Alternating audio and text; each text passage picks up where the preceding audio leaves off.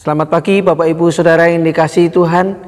Hari ini kita kembali boleh diberkati oleh Tuhan dengan anugerah kehidupan yang baru. Dan kita juga bersyukur kita boleh mendengar, kita boleh menyimak program hikmat pagi di hari ini. Bapak Ibu Saudara yang dikasihi Tuhan, saya ada di gedung gereja GKI Karangsaru yang kita cintai.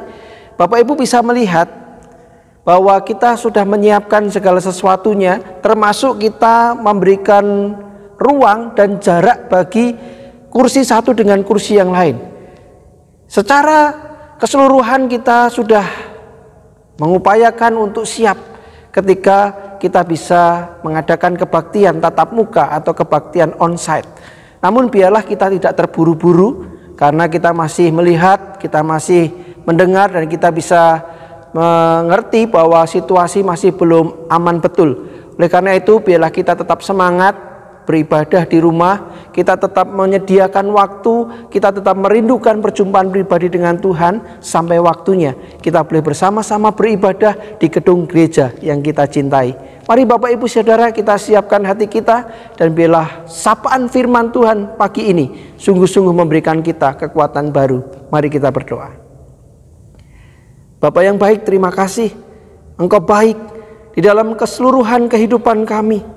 Meskipun kami tahu ada pergumulan, meskipun kami tahu ada tantangan, bahkan kadangkala kami ada di dalam penderitaan. Namun di dalam semuanya itu kami tahu Tuhan beserta dengan kami. Di dalam semuanya itu Tuhan tidak pernah meninggalkan kami. Bahkan ketika kami peka, ketika kami tahu isi hati Tuhan, maka di dalam segala peristiwa kehidupan kami, kami melihat jejak-jejak kaki Tuhan. Kami melihat cara dan campur tangan Tuhan di dalam hidup kami. Oleh karena itu Tuhan di pagi hari yang indah ini kami mau menjalani hari yang kau beri. Kami mau melakukan segala sesuatu yang kau ingini dan mampukan kami mengerti isi hatimu. Berbicaralah dan berikan kami pengertian supaya kami melangkah di jalan Tuhan. Ini kami di dalam nama Yesus kami berdoa. Amin. Bapak Ibu Saudara yang dikasih Tuhan tema kita hari ini adalah motivasi penginjilan karena bulan Juli merupakan bulan misi bagi GKI Karangsaru. Kita akan belajar dari surat Roma pasal 1 ayat 8 sampai 17, namun kita akan fokus di ayat 16. Surat Roma pasal 1 ayat 16 demikian firmannya. Sebab aku mempunyai keyakinan yang kokoh dalam Injil karena Injil adalah kekuatan Allah yang menyelamatkan setiap orang yang percaya. Pertama-tama orang Yahudi, tetapi juga orang Yunani. Berbahagia setiap kita Bapak Ibu Saudara yang membaca, merenungkan dan melakukan firman-Nya dalam hidup kita setiap hari. Bapak Ibu Saudara berbicara tentang motivasi. Apa itu motivasi? Menurut Kamus Besar Bahasa Indonesia Online, Kata motivasi dapat berarti dorongan yang timbul pada diri seseorang secara sadar atau tidak sadar untuk melakukan suatu tindakan dengan tujuan tertentu. Contohnya, seseorang pelajar mau pergi ke sekolah karena ada keinginan untuk mencari ilmu dan menjadi orang yang pandai. Jika demikian, maka untuk melakukan penginjilan pun kita membutuhkan motivasi. Dalam artikelnya motivasi memberitakan Injil, pendeta Dr. Stephen Tong menguraikan motivasi yang murni dalam penginjilan. Yang pertama, kehendak Allah. Kehendak Allah adalah unsur yang menentukan eksistensi dari segala sesuatu. Tidak ada hal lain yang lebih besar dari kehendak Tuhan. Yang kedua, pengutusan Kristus. Setelah Tuhan Yesus menang atas kuasa maut, dia mengutus gerejanya untuk memberitakan Injil.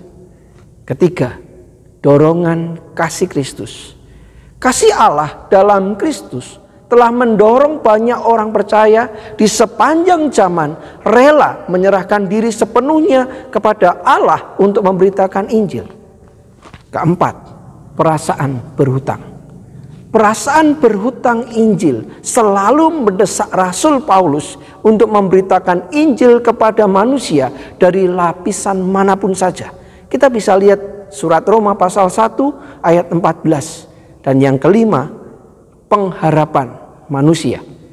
Dan Injil kerajaan ini akan diberitakan di seluruh dunia menjadi kesaksian bagi semua bangsa. Sesudah itu barulah tiba kesudahannya. Matius pasal 24 ayat 14. Bapak Ibu Saudara yang dikasih Tuhan, Tuhan Yesus akan datang kembali. Apakah yang harus dilakukan? Setiap orang percaya yang mengharapkan kedatangan Tuhan Yesus kembali menyucikan diri dan menyelesaikan pekerjaannya melalui pemberitaan Injil. Bapak Ibu Saudara yang dikasih Tuhan, motivasi yang murni dalam penginjilan terlihat jelas dalam kehidupan dan pelayanan Rasul Paulus. Terlebih dalam tugas pemberitaan Injil. Kehendak Allah menjadi patokannya dalam bertindak ayat 10. Ia tahu Tuhan mengasihi semua orang ayat 13b. Kasih Kristus begitu luar biasa dalam hidupnya sehingga ia mendorong untuk berbagi kasih Allah dengan orang lain. Ayat 14. Hanya Injil Yesus Kristus yang dapat menyelamatkan orang berdosa. Ayat 16. Karena Injil menyatakan kebenaran Allah bahwa hanya dengan beriman kepada Yesuslah orang berdosa dibenarkan. Ayat 17. Oleh sebab itulah Bapak Ibu Saudara, Rasul Paulus begitu giat melakukan tugas pemberitaan Injil ayat 9, ayat 10, ayat 13 dan 15. Bagaimana dengan kita? Sudah tepatkah motivasi kita dalam melakukan tugas pemberitaan Injil? Beritakan Injil dengan motivasi yang murni. Amin. Bapak yang baik, terima kasih. Kami disegarkan, kami diingatkan, namun sekaligus kami diperintahkan untuk memberitakan Injil. Karena itulah yang kau kehendaki untuk kami kerjakan. Itulah yang kau rindukan untuk kami perbuat. Supaya kehidupan ini bukan berbicara tentang kami. Namun sesungguhnya kehidupan ini berbicara tentang Tuhan yang mengasihi kami. Tuhan yang sudah berkarya. Tuhan yang mau menebus dosa-dosa kami. Tuhan yang memberikan kehidupan yang baik bagi setiap yang percaya kepadanya. Oleh karena itu Tuhan, Biarlah ketika kami masih diberikan waktu kehidupan, ketika kami masih diberikan kesempatan kehidupan, kami menggunakannya untuk memberitakan kabar baik. Kami memberitakan kabar sukacita, Injil kepada sebanyak mungkin orang. Mampukanlah kami Tuhan. Hari ini kami tapaki untuk memuliakan Tuhan, memberitakan kasih setia Tuhan, dan biarlah nama Tuhan dimuliakan, serta banyak jiwa dimenangkan. Di dalam nama Yesus kami berdoa. Amin. Bapak Ibu Saudara, selamat berkarya hari ini.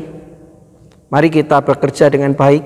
Mari kita menjalankan segala aktivitas kita dengan sungguh-sungguh. Namun ingat, kita juga dipanggil untuk memberitakan kabar sukacita Allah, kabar kemenangan, Injil Kristus kepada sebanyak mungkin orang dengan motivasi yang murni. Mari ketika kita boleh berjumpa dengan banyak orang hari ini, berjumpa dengan siapa pun, biarlah mereka boleh melihat Kristus di dalam hidup kita.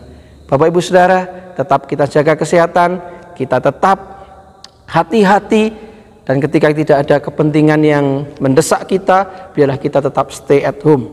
Kita boleh bekerja dari rumah dan kita melakukan segala sesuatu dari rumah.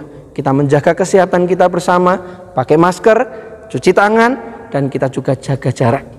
Kita menantikan waktunya ketika kita boleh beribadah di gereja Tuhan di dalam kasih setianya. Tuhan memberkati kita Bapak Ibu, tetap sehat, tetap semangat.